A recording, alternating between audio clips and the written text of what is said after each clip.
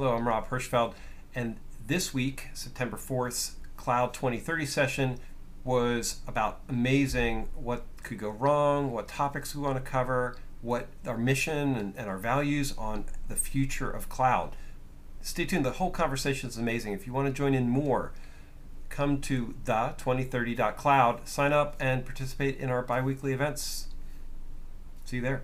Part of the meta for this meeting is actually to discuss formats and agenda and things like that. So, um, I was I had I had thought through that an icebreaker question or a um, idea or something to discuss as a as a hallway topic would be uh, an interesting way to start these meetings, right? Because I, I do like the you know unplanned agenda piece as the as the starting. Give us all some some reconnection time.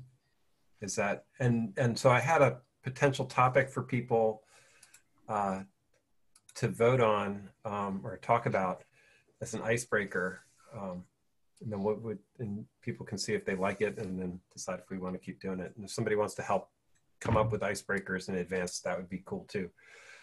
Uh, for this one, is that all right for everybody? That's fabulous. What's our icebreaker? The so in this case, it's a it's a poll prediction type of thing. How many people saw the video of the person singing Amazon's 200 services thing in two minutes? That thing's making the rounds. No. It's pretty awesome. No, you haven't. no. It's both awesome and horrifying because he, he like speed talks 200 services and then actually says and a whole bunch more that I didn't mention at the end. Um, what would, you know, you know what that is a reference to. It's a. Be, what would be really impressive is if they did that for uh, for Microsoft and Google as well as Amazon. It would be. I'm sure they're coming. Um, it's a reference to what, Rich? Um, in the early '60s, there was a, a kind of a comedian pianist called Tom Lehrer. He was a physicist from Los Alamos who got famous writing these very, very satirical uh, songs. Tom Lehrer um, songs were, were pretty, pretty well circulated. Um, uh, Welcome to another edition of the Late. Oops. I don't know what that was any case um, that was me trying to share cloud 2030 with a friend and i accidentally started a podcast. Okay.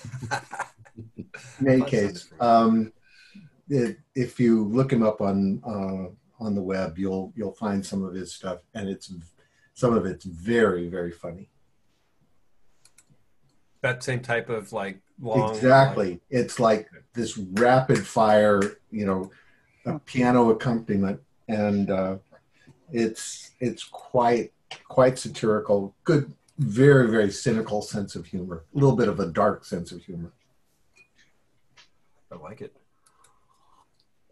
I should. I uh, let me see if I can find the link to the. It's a Twitter thread. I'll put it in the um, chat for for this.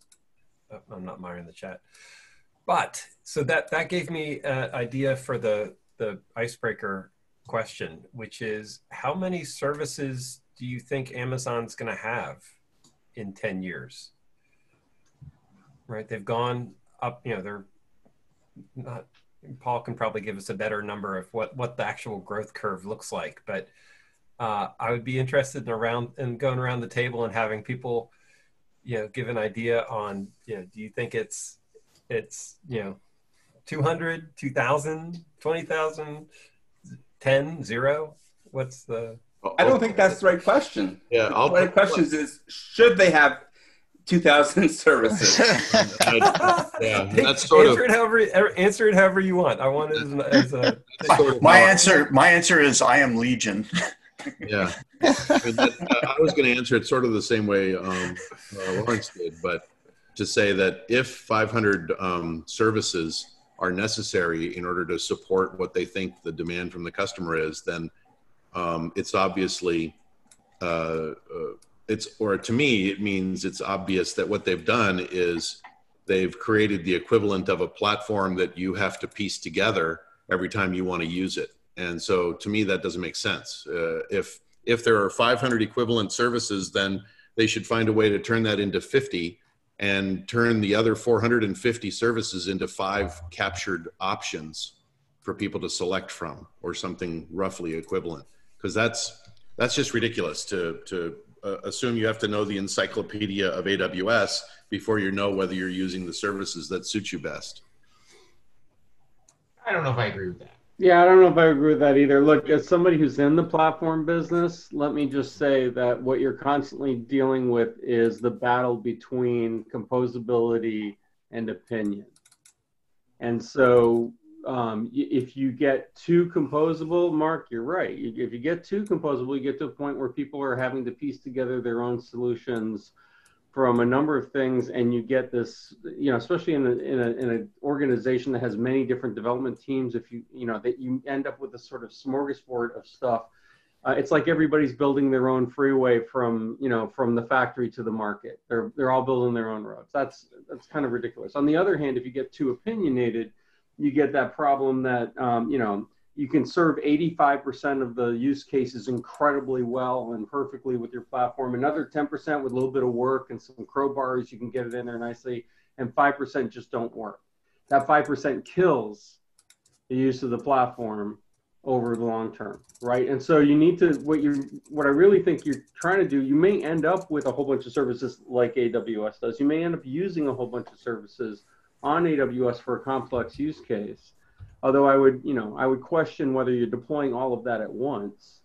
But um, but you might end up using all of that. The question really becomes, have you looked at the ways to make sure that you're minimizing sort of that spread of repeating the same task, the same sequence of things. Like you know, identity is always the example people throw out there and minimize the, the, cases of everybody coming up with their own solution for those things while at the same time allowing as much flexibility as possible for people that have legitimate differences in their applications. It's a, it's a hard, hard problem. It's why, you know, it's why half, you know, half the world out there loves Cloud Foundry, the other half thinks it's dead, right?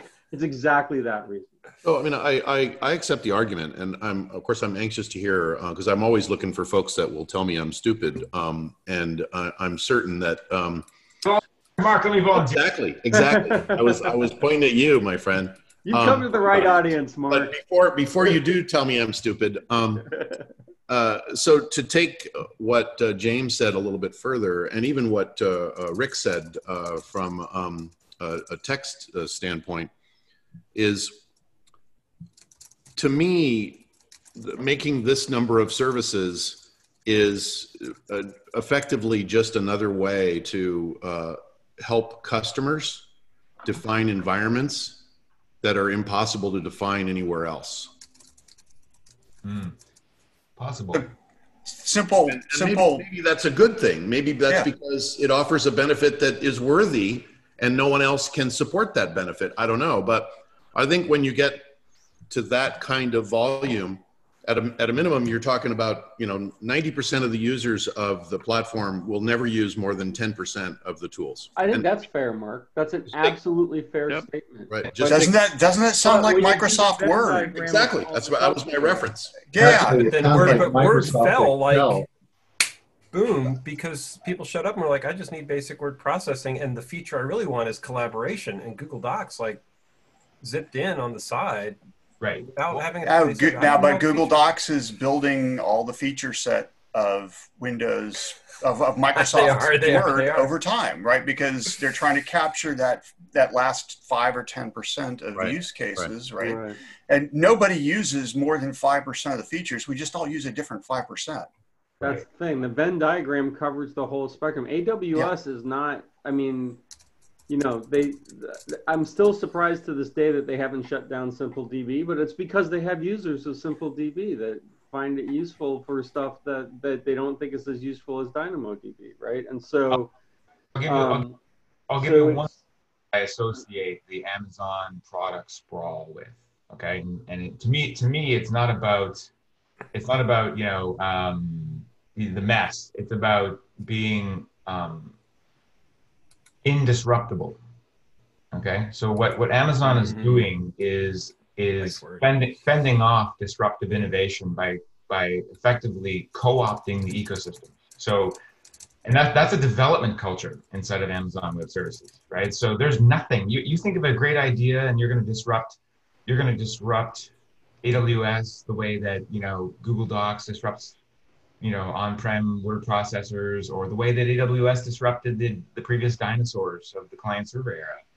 Um, Amazon is building a, an indisruptible business model. And that's why you see the, the proliferation of thousands of different services out there because their ability to bring something to market is like we've never seen before. I mean, I, you know, before, you know, I, I'll think of something and I'll build a prototype and fucking Jesus, like they're they're already in market before I even breathe it to anybody. Yeah, they're, uh, they're reading they're reading your mail is what it is. Well, having been inside AWS too, right? Listening to your home vo- home conversations too. Sorry, go ahead, James. No, says having been inside AWS for a while too, I will say it sounds like John, you have some experiences to a certain extent as well. But I mean, it is absolutely. The, here's the number one thing that's different about aws that enables this and why you will constantly see these services pop up. Um, never once in the almost two years that i was there did i hear andy jassy say this is our strategy for the coming year. Everybody line up with this mm-hmm. strategy. It never ever happened. What happened was all of the individual groups said this is our strategy right. for the coming year. They bubbled that up. It got it got rationalized and reconciled with other things and eventually a document ends up at the top that says essentially this is our strategy for the year. And then the head count bubbles down right? Basically the budget bubbles down. Never an edict to say thou shalt. Now you may not get the money you want to do to do what you want to do which is you know an equivalent in a sense. But i would so they are constantly exploring these are the new opportunities. And you all know about the, you know, the, the six pager, five pager, six pager document thing, the, the write the press release first, where anybody in the company, literally anybody can say, here's a product idea I have, and I did the research, and here's why I think there's a business model that works for it. That's that's what makes them so goddamn hard to disrupt. Exactly. So, that's and and to so my last point on this, and then I'll shut that's up. That's a topic. My last point yeah. on this is simply that this this is a prime example of the resilience versus stability trade-off, right?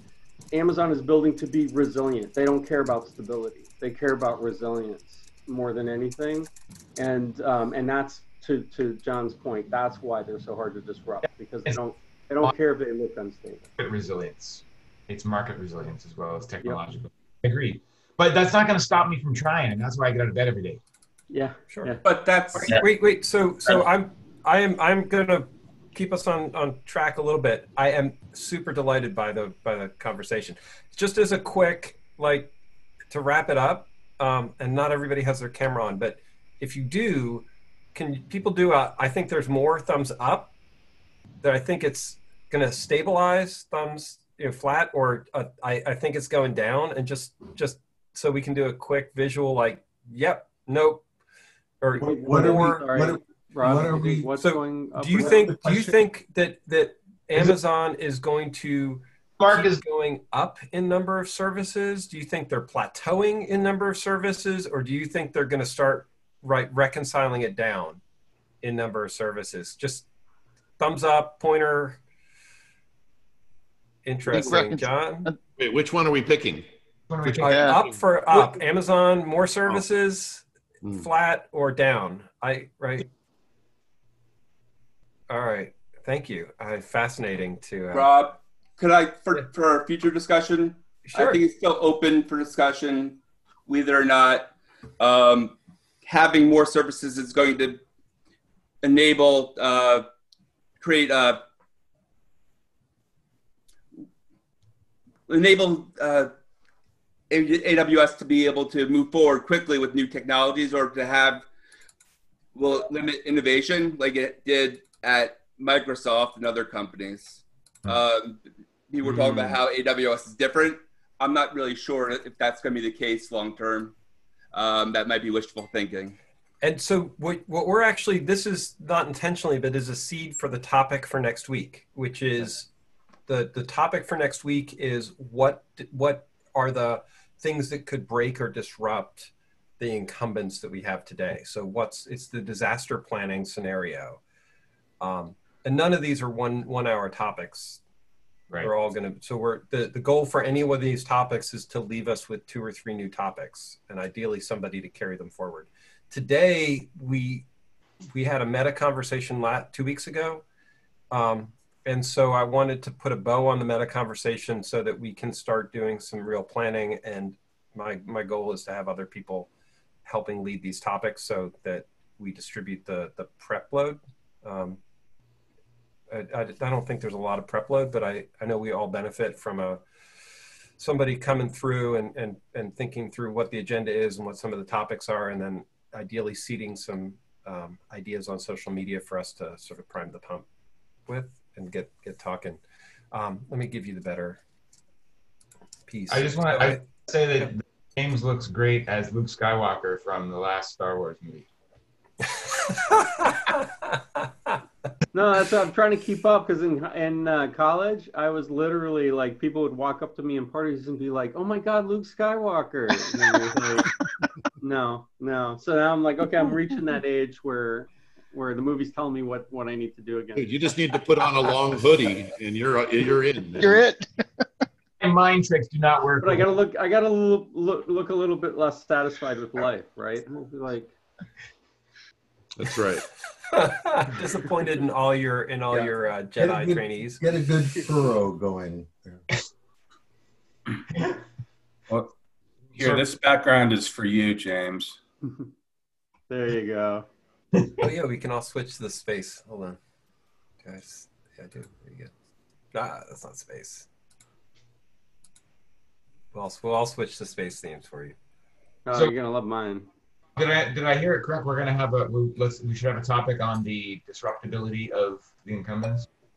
Uh, that's actually the next next week's topic is about uh, sort of the disaster planning, what could go wrong, and I think the right place to start is disrupt disruptability and res resourcefulness of incumbents. So I think I think those are good good topics from that perspective. And hold on, I have to make this. And this. we're using the word disruptability in the sense of in the in the in the you know, in the classical sense of disruption, right? Or are we talking about like physical going offline disruption? Yeah, are you talking about market disruption or you're talking about operational disruption, Rob? I think both are really interesting. Um, to me, the question for 2030 as a whole is market disruption. Mm-hmm. The topic for for next week to, was more physical or governmental disruption. I think like outside, probably, so outside disruption. Yeah, I think you could probably put those two together, um, but not necessarily with market disruption. Agreed. I mean, you could you could you could claim security threat or government disruption or um, or global weather disruption or something. Social like collapse disruption. Right. Right. I mean, if we're if we're going to talk about okay, there's so there's classical market disruption, which I think is a very relevant topic and, and a very big topic for cloud. Mm-hmm.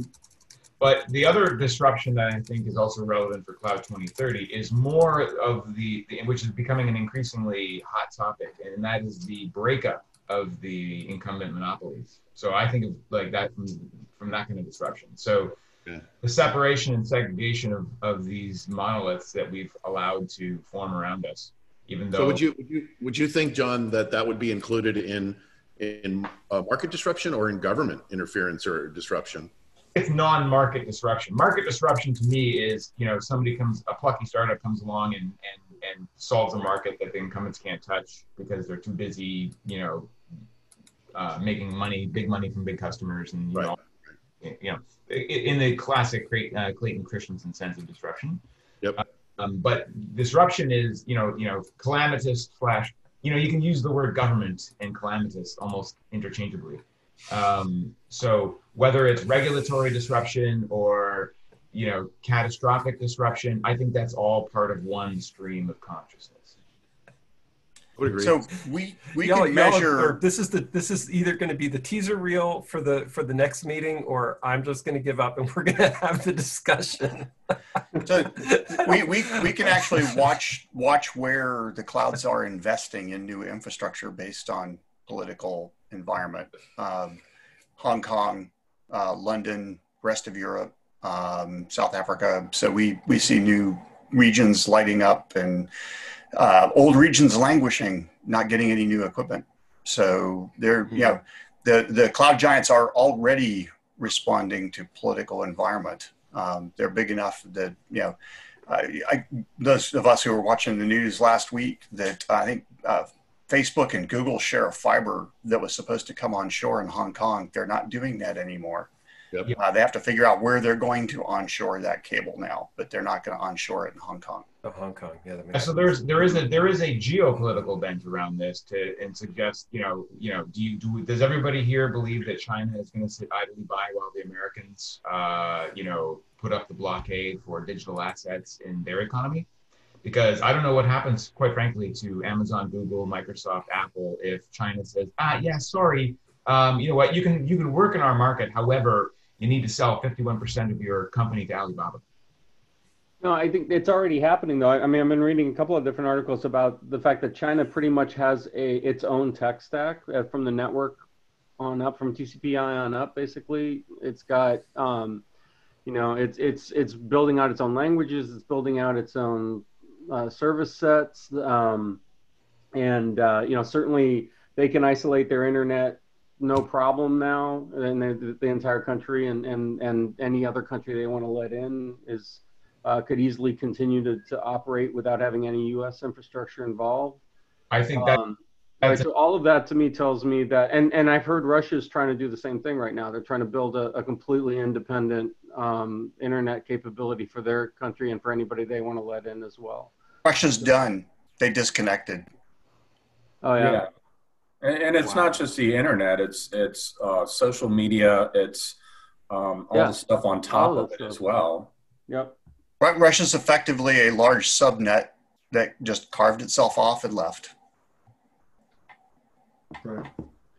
Yeah, but but China, I mean, wow. China literally, we talk about all these open source projects and how important they are here in North America. I mean, I literally sit here and think like, oh, I'm working on the core of what the internet's all about. And then, you know, I've been reading these articles that say, no, it's bullshit. I mean, China, they're not using very much of any of the stuff that I'm working on, right? Um, they're, they're they've got their own. I, you, they're not depends, using the. Depends I, on the. That depends on the layer, James. Really. Yeah. Um, no, it does. It's it's more the lower you get towards TCP, the more they share stuff. But the higher you go up, the more it differentiates. That's true.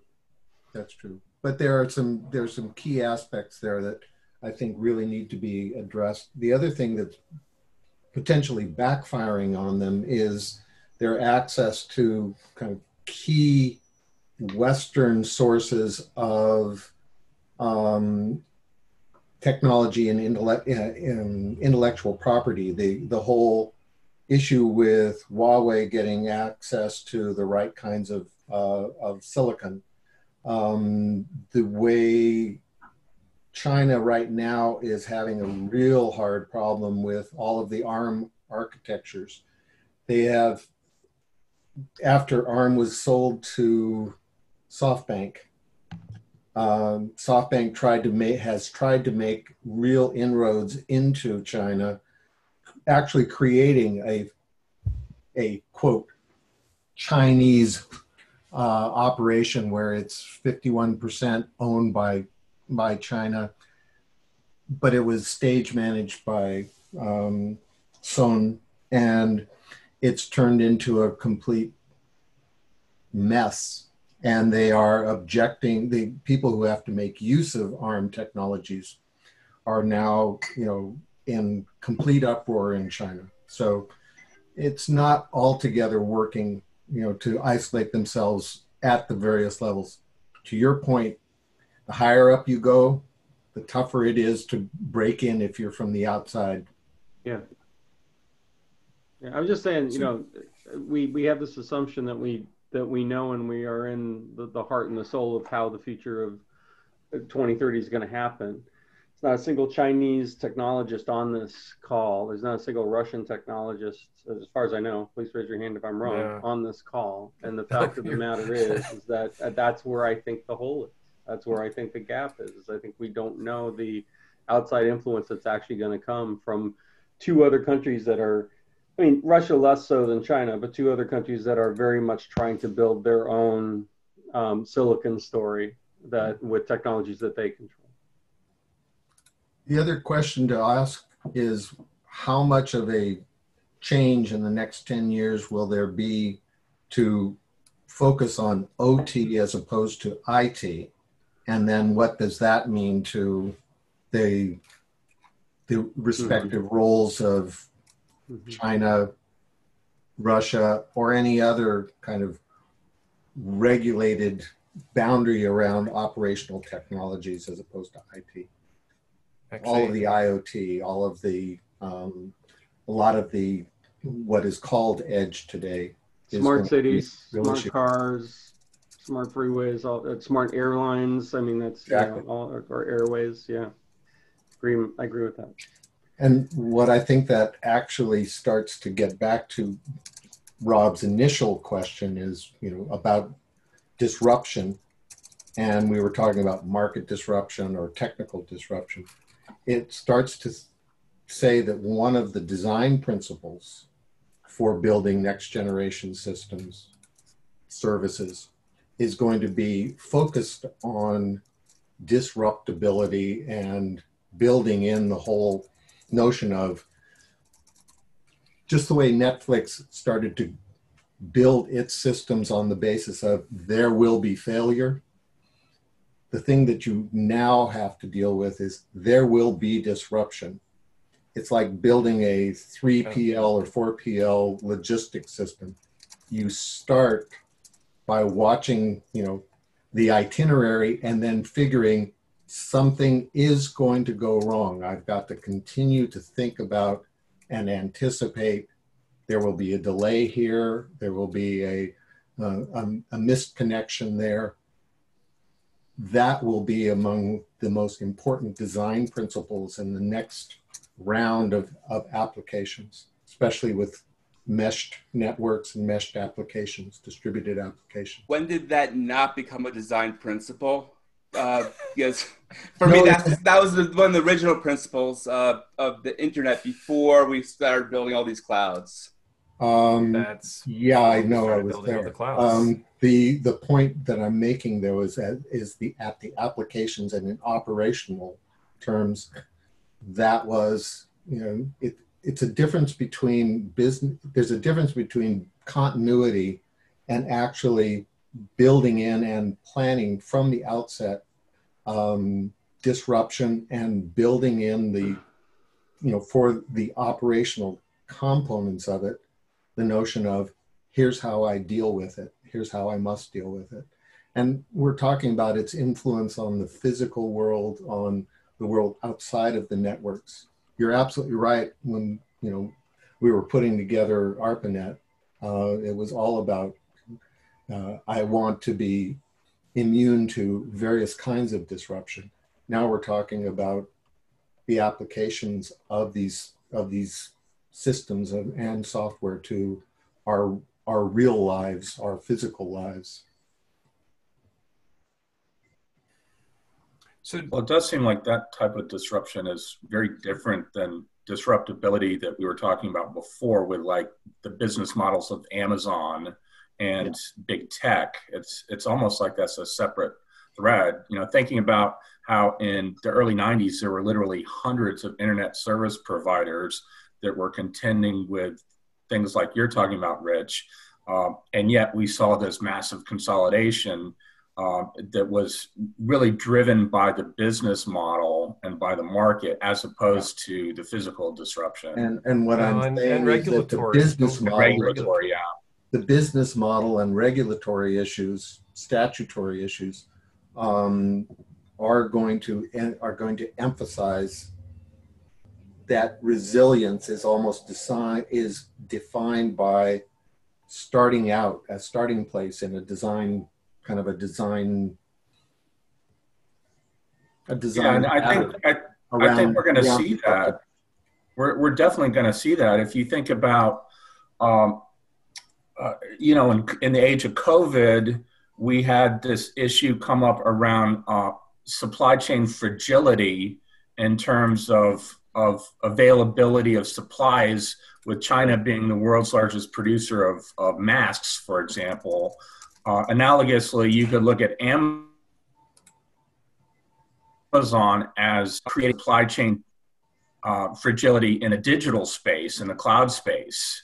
Right. And um, I, I, think that's something that ultimately is going to play into uh, Cloud 2030 from a regulatory perspective as well. Yeah, completely. I would, I would completely agree. And one of the the anti patterns is going to be the enforced breakup and market disruptions in some of the physical and the and the uh, techno- technological systems that are going that's going to actually incorporate more fragility and more um, aspects of kind of susceptibility to disruption. And that's a that that whole balancing act is not an easy one to deal with. And generally one that regulators and lawmakers don't take into account. They don't know how to. Is is the death of net neutrality i mean back to the us different you know most internet is government controlled in other countries if i'm correct right? In european it's it's really a telephone service telephone or, or utilities managed by the government. And i think that's the pattern in most places besides the us if we take down net neutrality and big companies start actually prioritizing traffic or blocking traffic to competitors um, could we see a backlash that would then reopen things up? Would that, you know, what trigger, what triggers a, a change from that perspective? What kind of backlash are you thinking of? Or we're already starting to see some of that with uh, people complaining about Amazon Basic uh, disrupting the businesses of their supplier ecosystem in the e-commerce space. Uh, with smart speakers, that's another great example of how Amazon and and Google and the other big players were able to co-opt uh, technology of their ecosystem partners.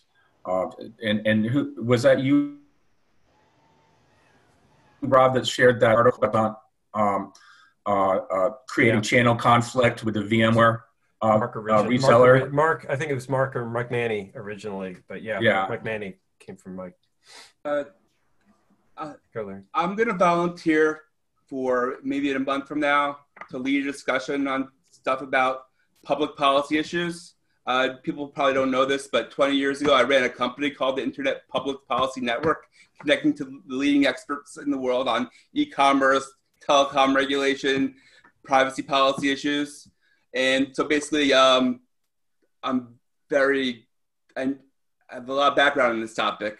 So, um, what maybe we could do is after we start talking about these other types of market disruption, we maybe come back to this and get and go into a lot more detail.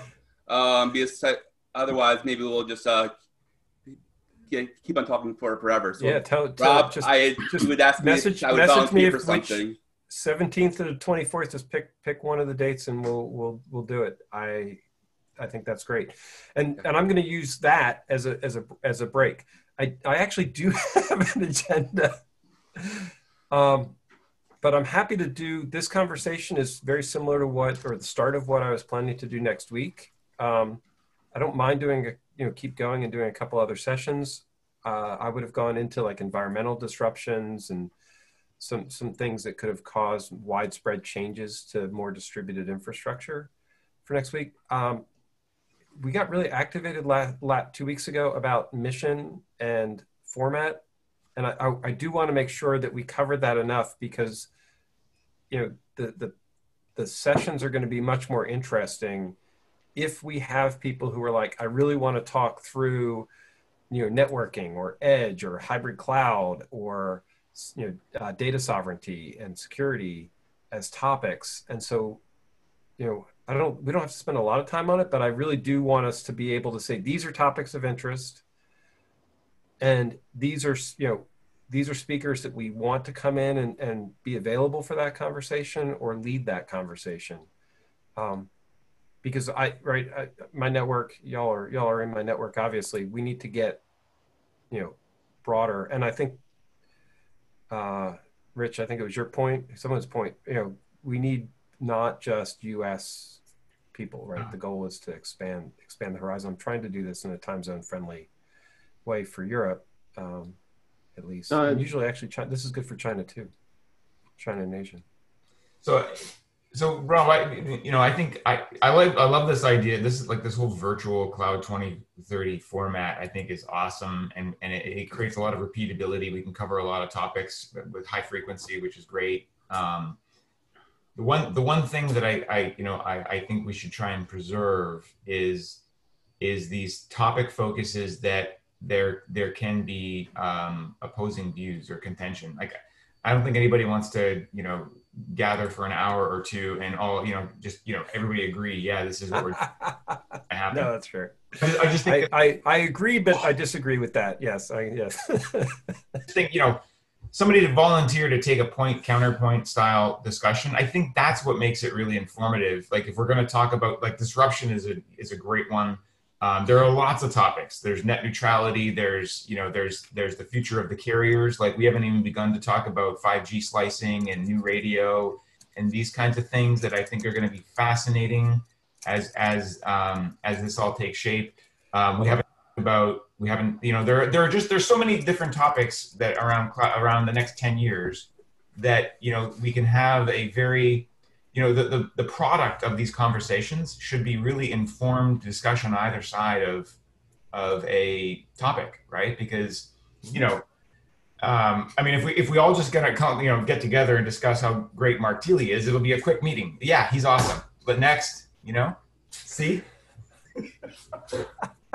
so um, so to but to me part of doing that is we're going to have you know people you know the people y'all came because you're interested in the discussion and yeah. the discussion more generally for some of these things like what we do at the devops things on tuesday right you know we bring we try to bring in somebody who has really deep knowledge on a topic mm-hmm. um, and then we and go super deep with them so we need to have enough of a schedule and prep that you can sort of lay out lay out those foundations so that you know to come. You know it's it's it's a we're, we're there's a lot of meetings frankly. Yeah. they're fun. I look forward to them but yeah, you could have at least to you know have, which ones you're gonna which ones you can skip. For sure. There's lots lots of tracks lots of like different topic tracks that can go deep on various things right? But right. Decon- deconstructed conference is the way i usually think about it. I think that's a great idea.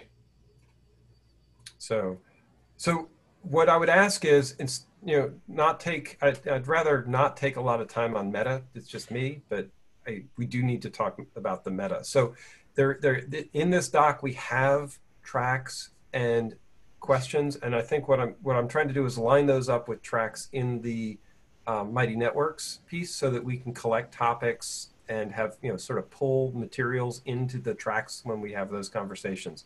I really like Mighty Networks better than the other stuff because it, it it actually does a good job of collecting.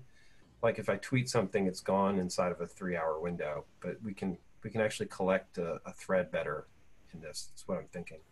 Um, yeah, it is like an unconference format, um, just spread out. So I, I and actually I would love to have people look at that list. We can read through it really quickly in a minute, um, and and add to it.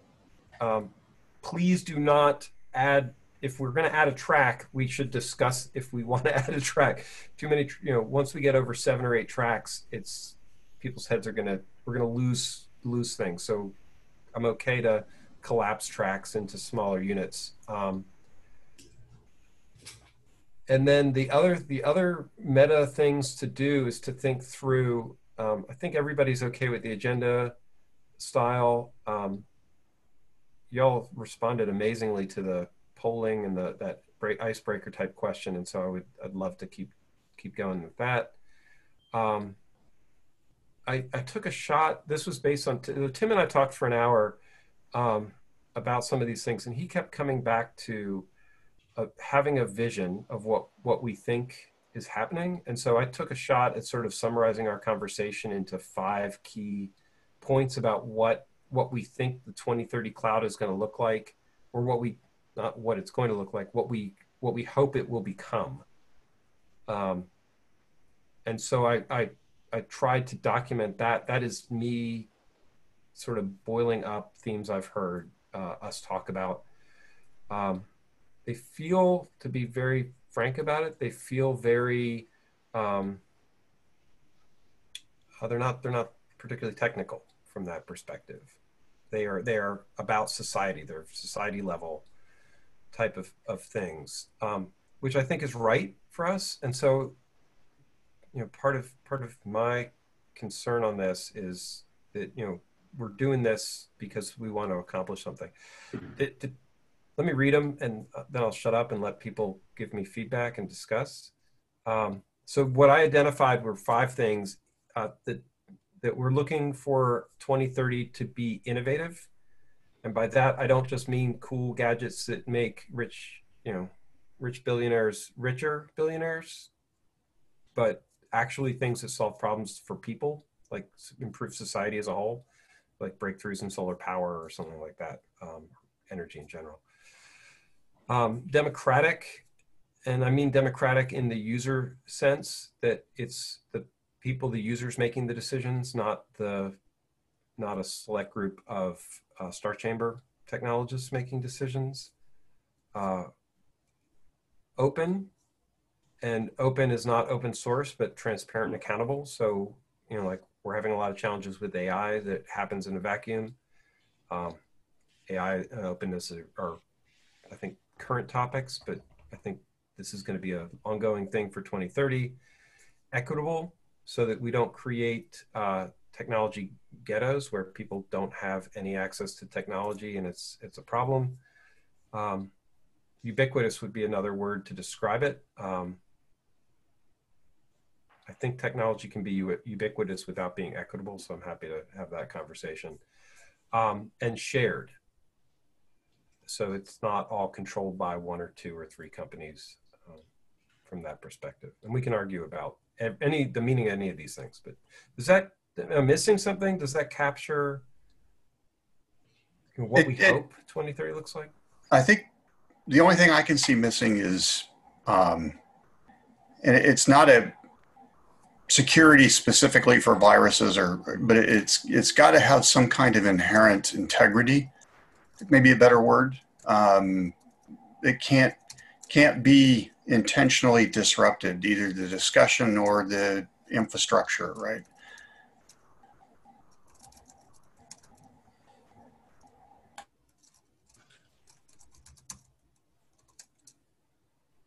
Like integrity. That is not, that is a good ad. Am I off base? Does this help us frame discussions so we can come come back and say, if that happens, is that equitable? Right. That that's. I mean, the goal here is right. We come. We should be able to come back to principles, and ask a question about, you know, one of these six six items, and say, all right, does that get us to this point? Is that an improvement?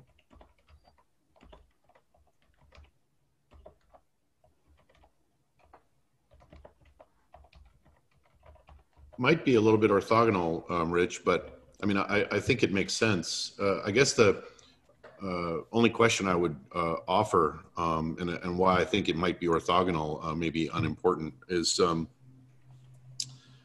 uh, how many different um, themes do we want to bring to the questions or to the team that are addressing the different questions? Um, I I may have missed um, some of the items that you identified as as talking points and focus points. But mm-hmm. when I think about the some of the things that we first discussed when we were first talking about even setting this up, let alone other discussions, they were themes around um, you know where what's our place um, in the world relative to our responsibility for what's being created. Um, what's uh, our responsibility to um, the next wave of uh, potential employees or the, the wave of employees that is trying to make do at advanced age like yours truly um, or you know impact on uh, climate change or assumptions of how we should focus um, our energies in those areas as a larger community uh, and, and, I realize that any one of those things is a huge conference all by itself so i'm just throwing it out there and seeing whether or not those and others make sense. And you know, I uh, and I, I, think we've even talked about this. Some of you maybe even uh, have, have, talked about this with me in the past. I wrote a paper on democratization of IT through cloud, and I believed it at the time, right? But when you, uh, and, I, and I'm, I'm jumping a little bit, but not too far, when you hear about um, kids who can't actually get an equivalent education, people who can't actually effectively compete because they're forced to work or school from home because they don't have the tools still today to make that access equitable and and at least on par with what is considered acceptable by those of us with you know 100 megabit plus access and the latest computers et cetera is that we we certainly made um, computing more democratized but we continue to to develop stratification that um, uh, still leaves an enormous part of the population behind, unfortunately. So again, all very big topics, and maybe nobody else cares, but those are some of the things that uh, at some point I would love to incorporate into uh, a discussion with uh, so many illustrious uh, intellects. And alliterative. Alliterative. Good points. Very good points. I think what you just described is a lot of what's gonna what those are potential disruption or what do you call it, levers for disruption. I think we're not even considering a lot of the things we take for granted today. Assuming right. a lot of things are going to be changing. It, just yeah. just in general, is it is our current environment scalable? Is it stable enough to continue forward for ten more years without having it without being disrupted? Is you know the probability is not there. So it's really interesting to be a part of this group and hear all the different ideas and different perspectives. It's very nice.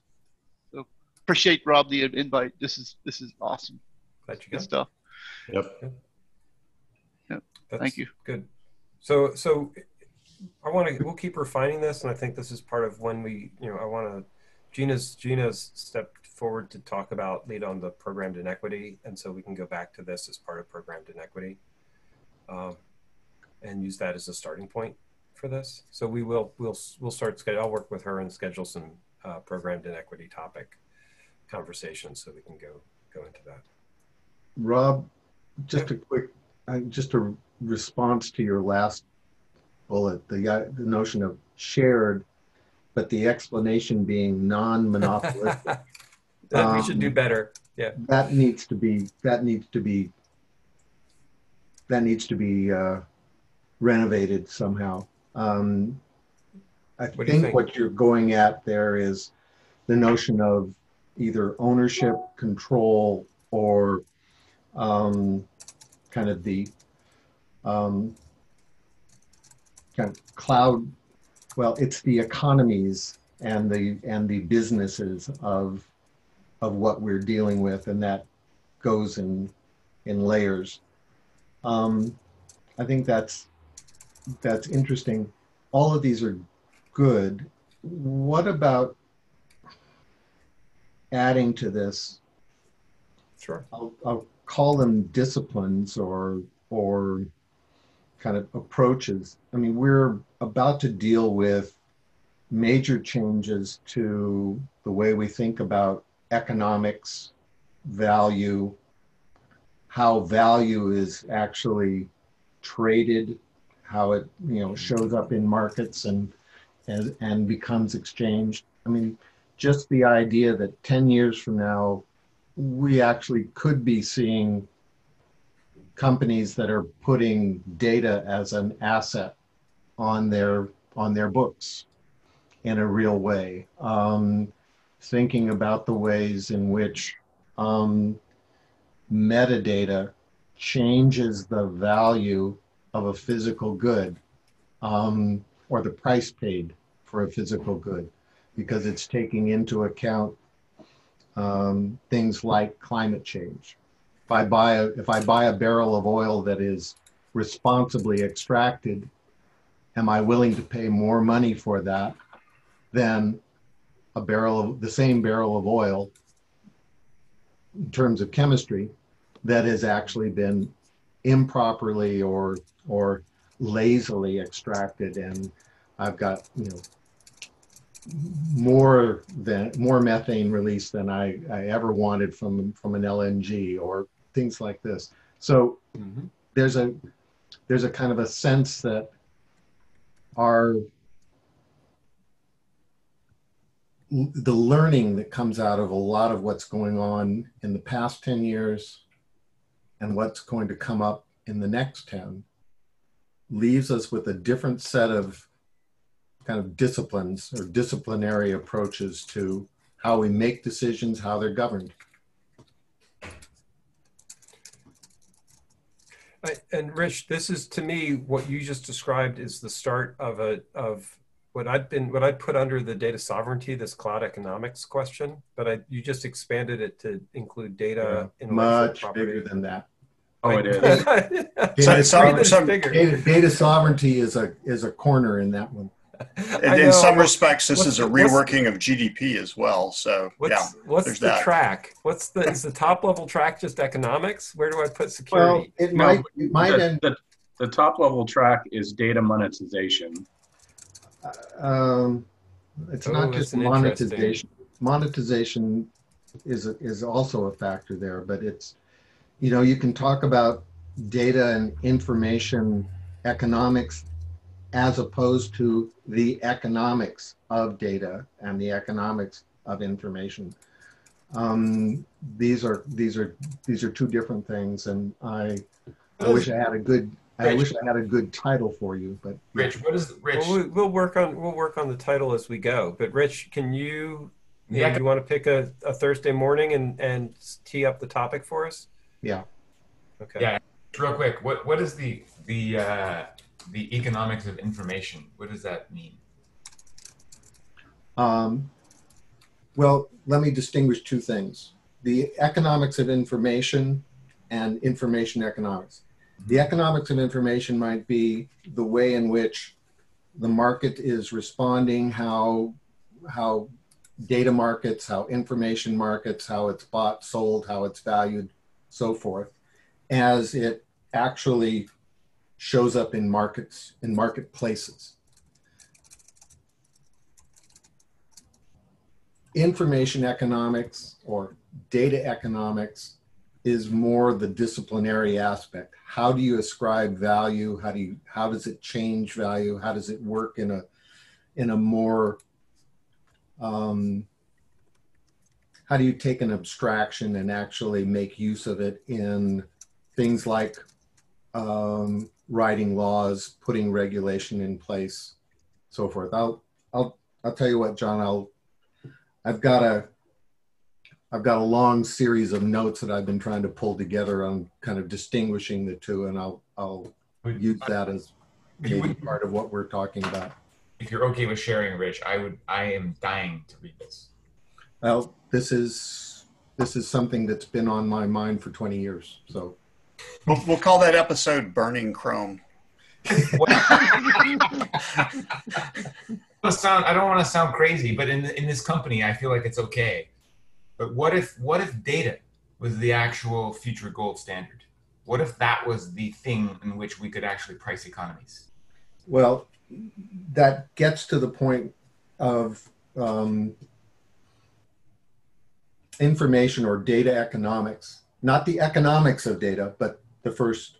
Yeah. And yeah, no, it, it's it's really really slippery because of the nature, the the economic nature of data. But it right now we've we've got you know just a the barest of handles on that yeah well isn't part of the problem there though the data has this intense half-life like crazy oh. intense oh. half-life when it comes to value 90 90 95% of data yeah, some of it does and some Right? Yeah, this yeah. Is, it's is, fair. It's fair. It's fair. There's some of it does have value over the long term, but yeah. but I you know part of the issue really becomes identifying the data that has the right. long term value on which to build, um, or something like that. Because otherwise, simply, you know, I, let me. I, I would have I would have agreed with you much more. You know, just right down the line, mm-hmm. uh, ten years ago, when yeah. I now see that the the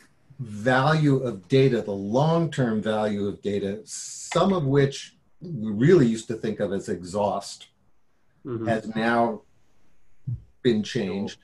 When I think about the fact that timed series, time, basically longitudinal data that is accretive is being used to train AIs.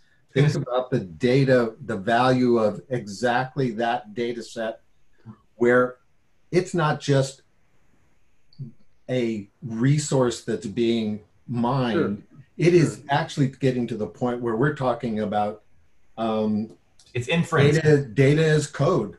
Infer- inference is what changed that for me, Rich. Okay, so inference, right? So, you know, the, the learning systems, the data lakes, the inference capabilities, that's where that's where that's what changed everything. And it's not like I used I used to think about it by you know applying the traditional uh, frame of reference for economics and pricing markets and these kinds of things, and that's not the way to think about it.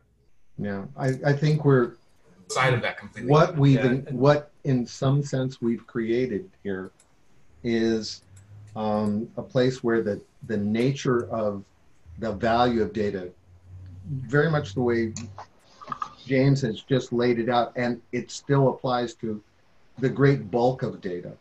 Well, I'm definitely going to want to jo- join the conference call next week because this is a great topic and uh, we could certainly spend an hour on it. More than that. I'm not going to do this. I'm not going to do this next week because you've already got a topic going, right? Right. I just posted a link for the alternative data council. Uh, yeah, and Paul, that alternative data, those cloud providers are one of the major providers of alternative data to the rest of the industry, and that's a real privacy concern for the that's another topic. We can talk all about that. That's my business is monetizing. We're we're, we're going to have some good conversations. Everybody, yep. thank you. We got topics for the next three months, and we we are set. I'm going to be tapping on people for for speaker roles. It helps me if you just come forward and remind me, but otherwise I'll I'll hunt you down. Otherwise. Yeah, um, Rob, I want to talk to you about the one you just tagged me to because I don't think it's the right one for me, but I think I have a much better one, and and we can talk. Then move your name. That would okay. be great. I, just, I'll add it. just delete it, move it. Tell me what you want to do. I'm not. I'm. I'm cool. trying to share the load, right. but I'm not trying to impose. Where are you keeping that list, Rob? It's in the document in the link. I'll post it. It's it's actually in the the the chat thread for Cloud 2030. Yeah. Is it in the um, mission, uh, the mission and topics? So if, if you go to chat. Yeah, I, am there. Okay. Um, yeah, mission and topics. Sorry, that's the title okay. of the document. I see it. All right. Down it. at the bottom. Yeah. Put your name yep, in. And I'm already, I'm kind of already on top of, on you, top. You just, you just need to tell me what, what week you want to do it, and we'll, we'll, we'll, uh, we'll go from there.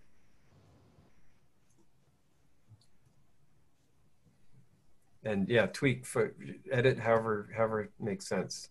Uh, Thanks for putting this together again, Rob. Appreciate of it. Of course, this is fun. Makes Isn't it fun? Think. Isn't it fun? I, it's what I missed about it's it's everything I missed about conferences with none of the stuff I don't like about conferences. So including the travel, including the conference itself. oh, I never went to any sessions anyway. Thank you, Rob.